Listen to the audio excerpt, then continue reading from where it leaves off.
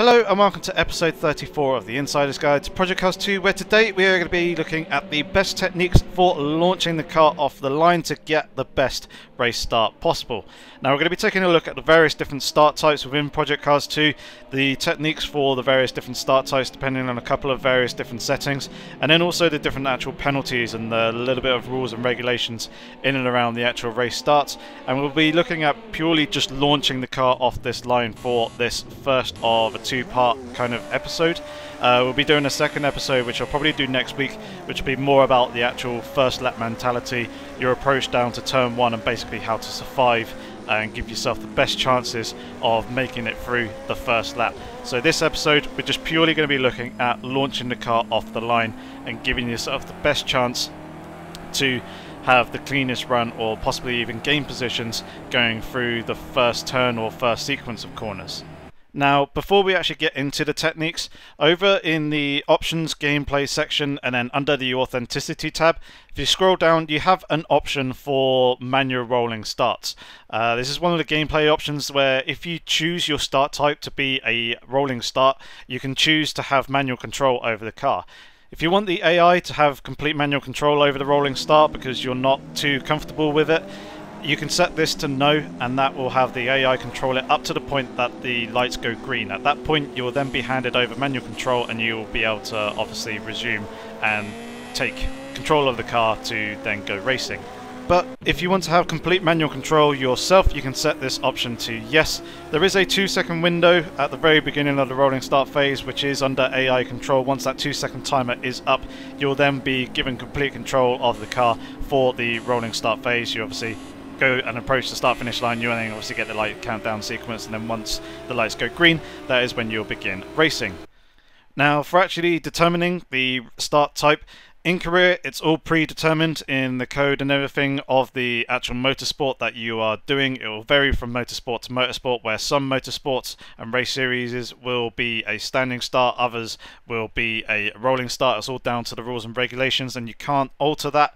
However, when you come to custom event, whether it's online custom event or single player custom event, you can go ahead into the race options and scroll down to the bottom. You'll see a start type option there and you can flick between the standing and also rolling start.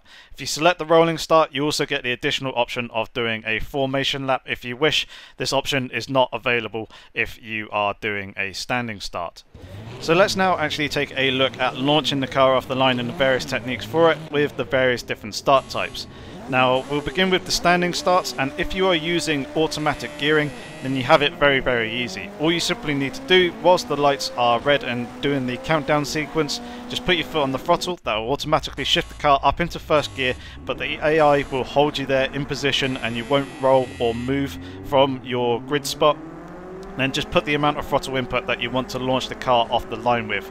Generally you should be kind of putting it onto full throttle and then once the uh, lights go actually green what the AI will do is simply lift off the brake and you'll start moving and then it's just down to you to modulate the amount of wheel spin depending on the drive rates of the car. Obviously, if it's got traction control, you could probably keep your foot in fully flat. However, the car doesn't have traction control and the wheels start spinning up, you will need to ease off the throttle and modulate that wheel spin to try and get the wheels to regain traction and give yourself the best acceleration possible. That's obviously going to apply for all scenarios when launching the car off the line, but just for automatic gearing, it's very, very easy. You don't really have to do too much and worry too much at the actual start itself. If you're using manual gearing, however, but using an automatic clutch, there's a technique that you can do that will get you a good start providing that you get the timing right. Now, what you actually do is you keep your foot firmly down on the brake during the red light sequence, shift up into first gear, and then just before the green light comes on, you plant the foot on the throttle and give it a load of gas, and then as the lights go green, you ease off the brake or drop the brake and come off it completely, and that should launch the car. Now, the reason why you need to get your timing right here is because the moment you start applying the accelerator, the automatic by clutch option is going to start re-engaging the clutch and you have about half a second window once the clutch actually re-engages and bites into the, into the drivetrain once again and the car will actually start moving. And if you get this timing wrong, you're going to end up with a penalty. However, if you get this right, you'll get an absolutely fantastic start and an absolutely fantastic launch off the line. So now we're onto the final technique with launching the car off the line with a standing start and that is using manual gearing and also a manual clutch. Now providing that the starting grid is on a flat surface and you're not on a hill or an incline or anything like that, what you can do is just put your foot down on the clutch to fully disengage it shift up in first gear and then you can use the throttle and once the lights actually go green you then ease off the clutch to about 50% so they start to engage and you start rolling and moving. And then as you continue to accelerate you can then completely come off the uh, clutch pedal. What you don't want to be doing is just completely dropping the clutch and coming completely off the clutch pedal uh, fully. That will just drop all the revs and you'll bog down and you won't really go anywhere anywhere too quickly. So what you want to do is obviously modulate the clutch input, get it to about 50% and you'll start moving quite nicely. Any higher than 50% you'll just get a lot of slip and you'll just uh, basically keep revving the engine and not really going anywhere so you want them to be binding and biting quite nicely without actually completely dropping the clutch and fully engaging it and there being too much force and friction and it'll just cause the engine to bog down you lose all revs and lose all momentum now, obviously, if the starting grid is on a slope, whether that's an incline or a decline, you obviously need to hold the brakes. The moment that you shift up into first gear, the car is going to start rolling in either direction. And if you move too far, you're going to go you're going to go get yourself a penalty. So what you need to do is obviously put your foot down on the clutch, shift up into first gear, but also hold the brake at the same time. You then uh, it is possible, depending on your pedal setup, is obviously put uh, your right foot on both the brake and also the accelerator. Use the amount of accelerator that you want. Then once the lights actually go green, obviously release the brake, go heavier onto the throttle and do the same again of easing up the clutch pedal and engaging the clutch obviously making sure that you get the nice amount of bite, uh, bite so that the revs don't completely drop and the car doesn't bog down but you also obviously getting the uh, right amount of engagement so the revs aren't just building up and you're not really going anywhere. So those are the techniques for launching with a standing start. And if you actually jump the standing start, the penalty that you're going to get is a drive-through, which is the main reason why you need to hold the brake when using the manual clutch and also manual gearing uh, when on a slope or on a hill, because the car is going to start rolling, and if you move too far, you will get a drive-through penalty and likewise with the manual and auto clutch if you uh, go onto the throttle too early and you release the brake too early or you basically just start uh, jump the start and go before the green light you will get a drive-through penalty. So you need to be very much mindful of that. Obviously those using automatic gears whether it's automatic clutch or uh, manual clutch it's you pretty much you're locked to auto clutch when you're using automatic gears.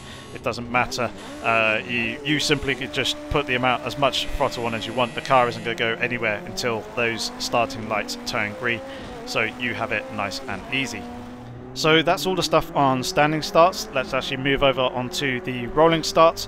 And if you've got the manual rolling start option set to no, you obviously have AI control. You don't need to worry about doing anything. You won't take control of the car until the lights actually go green and then you can go racing. However, if you do have the manual rolling start option set to yes, you're going to have control once the two second timer at the very beginning of the rolling start phase is over and there's a one way that I like to start with my manual rolling starts, and that is as the light countdown sequence actually starts and begins starting countdown and going through the various red lights, that is actually putting my foot lightly onto the brake and putting the accelerator down to full throttle application. Now there are two main reasons for this. The first is it's much easier to control the speed with uh, using more or less uh, brake application depending on what the cars are doing around me in the rolling start phase. Obviously if I'm there having to lift on and off the throttle I could be off throttle at the point uh, of the lights going green whereas obviously having my foot fully down on the accelerator at 100% and then just using the correct amount of brake input to maintain my speed, avoid making contact with the other cars around me all I'm simply having to do is lift off the brake once those light goes, lights go green. I've got my foot fully on the accelerator ready for that moment. The second reason for it is also having actually 100% throttle application there and already at that time, it's already demanding all the power from the uh, engine for the acceleration. If the car's got a turbo, it will have the turbo nicely spooled up for the moment that the lights go green.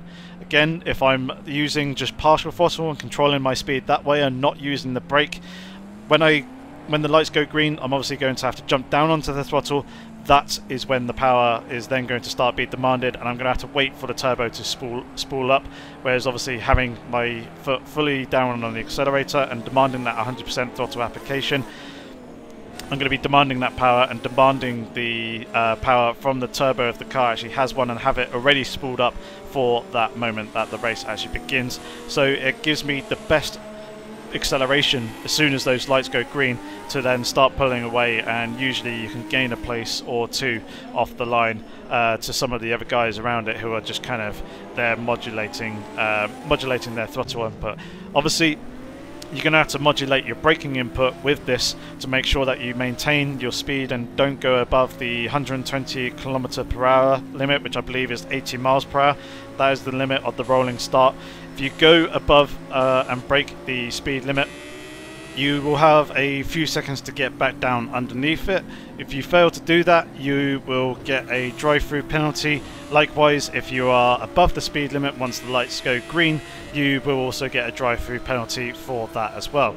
The other penalties that you can get during the rolling start phase include 5 second time penalty for each piece of contact uh, with another car during that rolling start phase. So if you have multiple uh, contacts with other cars or the same car, you'll rack up a 5 second penalty for each piece of contact that you make with another driver. Then you can also get disqualified for gaining positions on cars that are in your train. You have a countdown timer to give the position back.